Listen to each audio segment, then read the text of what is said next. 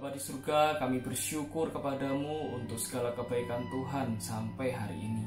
Kami rindu Tuhan pada pagi hari ini kami merenungkan firman-Mu.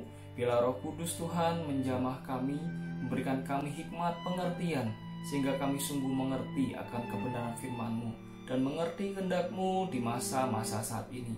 Terima kasih ya Tuhan, kami terima kebenaran-Mu di dalam nama Tuhan kami Yesus Kristus kami berdoa. Amin. Bapak Ibu, Saudara sekalian yang dikasih Tuhan, kita bersyukur untuk hari yang baru dan kita bersyukur untuk kesempatan bersama-sama merenungkan firman Tuhan dari Lukas pasal 23 ayat 8 sampai 12 di dalam perikop Yesus di hadapan Herodes.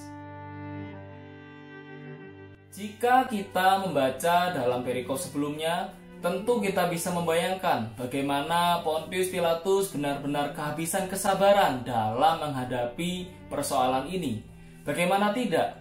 Ketika Pontius Pilatus menyatakan bahwa tidak ditemukan satu kesalahan apa pun terhadap Yesus, semua orang termasuk para imam kepala semakin kuat mendesak untuk segera memberikan penghukuman kepada Yesus. Tetapi ketika Pilatus mengetahui bahwa Yesus adalah orang Galilea, ia segera mengirimkan Yesus kepada Herodes yang pada waktu itu juga ada di Yerusalem. Dari semua tindakan Pontius Pilatus ini, kita dapat melihat bagaimana Allah mengatur semuanya untuk menggenapi nubuat dalam Mazmur 2 ayat 2 yang dikatakan Raja-raja dunia bersiap-siap dan para pembesar bermufakat bersama-sama melawan Tuhan dan yang diurapinya. Kita juga dapat bisa membandingkan di dalam Kisah Rasul 4 ayat 26 dan 27. Sebelum kita merenungkan lebih jauh, mari kita lihat siapa Herodes yang ditemui oleh Tuhan Yesus.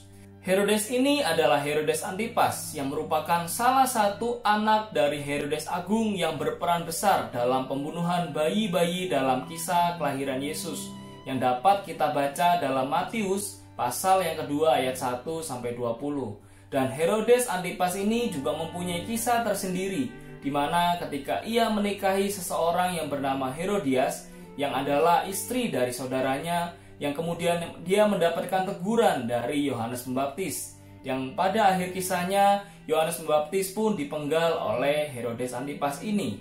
Bapak Ibu Saudara sekalian yang dikasih Tuhan, pada pagi hari ini kita akan sama-sama merenungkan dan belajar dari sikap hati Herodes.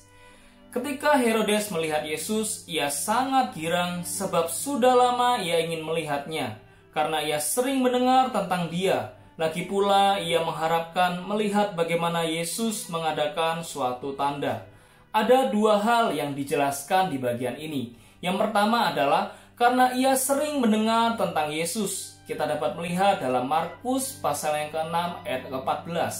Dan yang kedua adalah ia mengharapkan melihat suatu tanda dari Yesus. Herodes ingin ketemu Yesus bukan karena menyenangi ajarannya maupun mengenal siapa Yesus. Dia hanya mempunyai rasa penasaran yang tinggi karena selama ini dia belum pernah ketemu Yesus dan dia hanya mendengar tentang kebesaran namanya dan segala perbuatannya yang luar biasa. Oleh sebab itu, ketika Herodes bertemu dengan Yesus, hal pertama yang ingin dia lakukan adalah ingin melihat tanda-tanda mujizat yang Yesus lakukan. Bapak Ibu, saudara sekalian yang dikasihi Tuhan, motivasi dan juga keinginan Herodes untuk bertemu dengan Tuhan Yesus kelihatannya wajar dan manusiawi. Seandainya setiap kita mendengar ada orang yang terkenal dan juga bisa melakukan hal-hal yang luar biasa, Tentu pastilah setiap kita ingin ketemu dan juga ingin melihat apa saja yang bisa diperbuat oleh orang itu. Tetapi motivasi yang demikian tentu tidak benar ketika bertemu dengan Tuhan Yesus. Herodes hanya penasaran dengan mujizat-mujizat yang akan dilakukan oleh Yesus, tetapi dia sama sekali tidak peduli siapa Yesus sebenarnya. Oleh karena itu, kita dapat melihat ketika ia mengajukan banyak pertanyaan kepada Yesus, tetapi Yesus tidak menjawab sepatah kata pun, maka mulailah Herodes dan pasukannya menista dan mengolok-ngolok dia. Bahkan dalam terjemahan lain mengatakan lebih jelas Herodes dan tentaranya menjadikannya tidak ada apa-apanya dan mengolok-oloknya. Tentu tindakan dari Herodes ini didasari dengan anggapan bahwa Yesus yang di hadapannya saat ini bukanlah apa-apa lagi. Semua yang dilakukannya, hal-hal mujizat yang telah diperbuatnya sudah berlalu. Bahkan orang terkenal seperti Yesus pun sekarang bukan apa-apa lagi di hadapan Herodes. Tindakan Herodes ini tentu hal yang sangat-sangat kurang ajar karena Yesus adalah pencipta dari segala sesuatu. Tetapi Bapak Ibu Saudara sekalian, bukankah di masa-masa saat ini banyak orang juga melakukan yang sama seperti Herodes lakukan? Di dalam minggu-minggu belakangan ini, kita dapat melihat di mana virus semakin meluas. Banyak orang berjatuhan, bahkan situasi-situasi yang semakin tidak menentu. Perekonomian semakin sepi. Dan banyak orang mengatakan di dalam media sosial secara khusus, mereka berkata, "Di mana Tuhan? Bukankah Tuhan itu baik?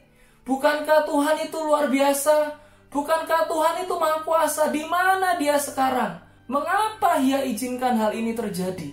Kalau Tuhan itu berkuasa, tolong selesaikan, hilangkan virus corona ini. Dan banyak keluhan-keluhan yang dikatakan. Tentu hal ini juga adalah sikap yang tidak sepatutnya dikatakan oleh manusia-manusia berdosa. Jika kita belajar dari kisah-kisah sebelumnya, di mana Tuhan Yesus belum ditangkap, Dia sudah mengatakan, Segala sesuatu yang ditulis tentang aku sedang digenapi. Ini yang berarti adalah Tuhan Yesus bisa melakukan banyak hal. Dia bahkan bisa meminta 12 pasukan malaikat untuk menghancurkan semua musuh-musuhnya. Tetapi dia tidak melakukannya. Dia taat kehendak Bapa. Bahkan ketika dia maupun sekalipun dia bisa untuk menyatakan mujizatnya membuat Herodes percaya dan membuat dia melepaskan di, melepaskan diri Yesus. Tetapi Tuhan Yesus tidak melakukan ini. Ini adalah sebuah ketaatan yang luar biasa yang dilakukan oleh Tuhan Yesus. Bapak Ibu Saudara sekalian, kita belajar dari sikap Herodes, di mana sikap hati Herodes yang hanya ingin melihat mujizat-mujizat dilakukan oleh Tuhan Yesus, tetapi dia tidak peduli dengan Tuhan Yesus sendiri. Siapa Tuhan Yesus? dia tidak peduli. Dari tindakannya ini kita dapat melihat bagaimana Herodes mempunyai sikap yang lebih buruk terhadap Yesus daripada Pontius Pilatus. Herodes yang mengenal akan Yohanes Pembaptis dan mempunyai pengetahuan lebih banyak tentang Kristus daripada Pontius Pilatus. Tetapi sikapnya terhadap Tuhan Yesus justru lebih kejam. Bahkan ia menghina Yesus daripada Pontius Pilatus. Dari hal ini kita dapat memetik sebuah pelajaran bahwa orang yang mempunyai pengetahuan tetapi tanpa kasih karunia hanya akan membuat orang itu semakin jahat. Ketika Herodes tidak mendapatkan apa yang dia mau, dia menjadi kecewa dan mengolok-olok Yesus. Bapak Ibu, saudara sekalian yang dikasih Tuhan, apa motivasi setiap kita di dalam percaya dan mengikut Yesus? Apakah kita percaya kepada Yesus karena ingin mengalami mujizat-mujizatnya? Apakah kita percaya karena kita mengharapkan semua masalah kita dibereskan? Apakah kita percaya kepada Yesus karena kita ingin tidak ada masalah? Tentu hal itu adalah motivasi yang salah ketika kita percaya kepada Tuhan Yesus.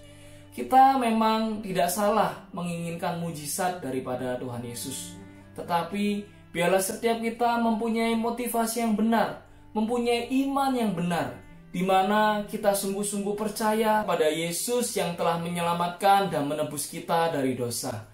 Iman yang sungguh-sungguh percaya bahwa Ia adalah Allah Maha Kuasa, Allah yang berdaulat di dalam kehidupan kita. Sekalipun saat ini kita belum bisa melihatnya, tetapi bela kita tetap percaya, tidak ada rancangan yang jahat, tidak ada perbuatannya yang sia-sia.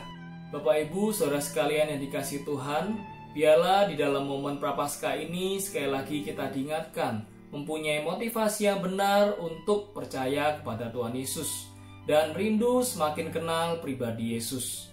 Mari kita berdoa. Bapa kami yang di surga, kami bersyukur untuk kebenaran firman-Mu yang telah kami renungkan bersama.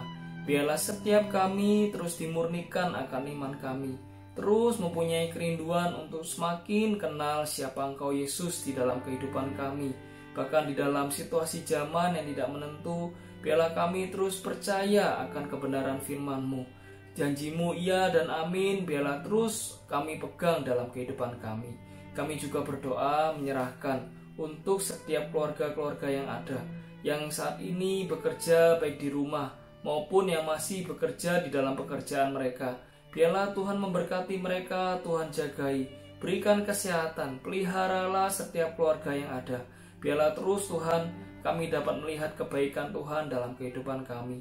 Kami juga berdoa untuk pemerintah-pemerintah Indonesia maupun di dunia.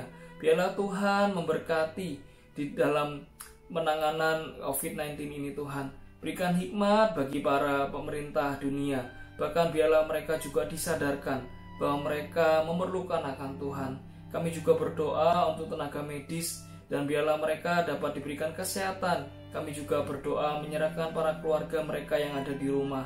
Berikan mereka juga ketenangan. Kami juga berdoa menyerahkan untuk kebutuhan alat pelindung diri dokter yang ada Biarlah Tuhan juga cukupkan Tuhan pakai orang-orang di dalam menyediakan alat pelindung diri bagi para dokter dan tenaga medis yang ada.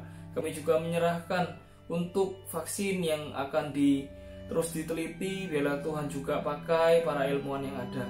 Kami menyerahkan Tuhan melalui COVID-19 ini kami sungguh-sungguh dimurnikan untuk mengerti apa itu hidup kami. Hidup yang rapuh yang perlu akan Tuhan. Biarlah Tuhan kau sertai kami sepanjang hari ini. Biarlah Tuhan yang memimpin, Tuhan yang menolong kami. Biarlah kami sungguh-sungguh bergantung kepada Tuhan Yesus. Dalam nama Tuhan Yesus kami berdoa dan bersyukur. Amin.